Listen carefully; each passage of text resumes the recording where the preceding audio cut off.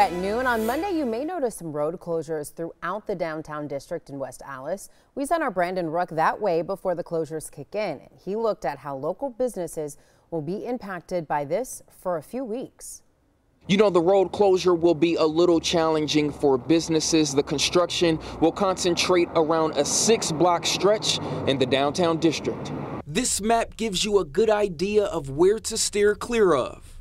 West Greenfield Avenue between 70th and 76th will be closed. This is highlighted in red. To navigate around, drivers will be detoured to West National Avenue, which is highlighted in green. This headache is going to be a lot smaller headache than if the road were to buckle or collapse. West Allis Mayor Dan Devine tells me the roads will close on Monday and will remain that way until March 30th. He says the city has to make an emergency underground repair to the sewer system. Our cameras caught city workers already prepping. This chain reaction will affect the many businesses. Um, you know, we're going to do the best we can. We know it's not going to be pretty. Adam Purcell, co-owner of Aggie's Bakery, says this news comes at a tough time because Easter is right around the corner, which is a busy time for them. Logistically, it's going to be hard to come here. However, side streets and parking on the side streets will still be available. It's going to be a mess, I think, for everyone around here.